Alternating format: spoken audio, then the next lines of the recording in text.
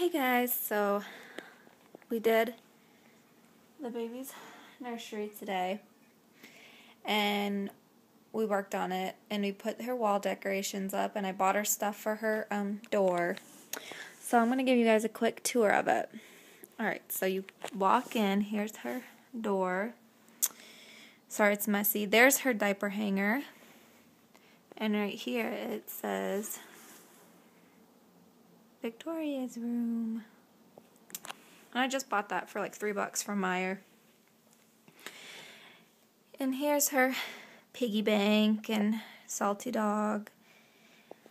And there's her crib set. Whoa.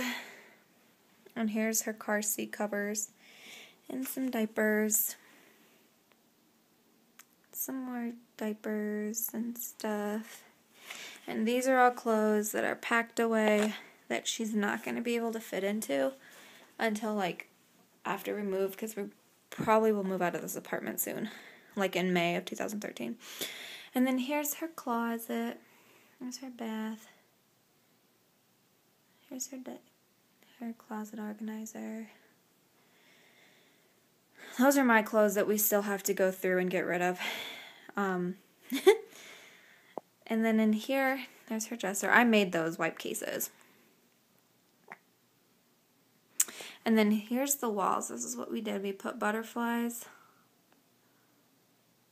And then up there, I don't know if you can see it, but it says God's gift. And then we put more butterflies. We have to get those blue things off. I had pictures hanging up there. So I put butterflies all around. And there's her window.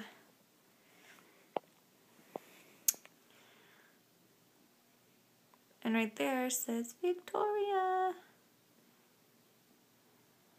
So as you can tell, her theme is butterfly.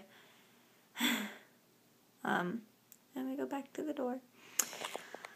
So there's her her crib doesn't even have a mattress yet. We're getting one for our baby shower, hopefully. Um, we're taking the bumpers off as well.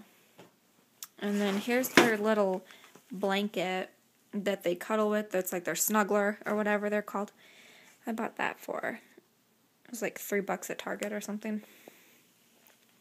But, yep, so, and there's my Boppy. We bought it off a of Woot. But, alright, there's her room. And it's not finished, obviously, right now. There's a whole bunch of more baby stuff in there. But, yep, thanks for watching, you guys.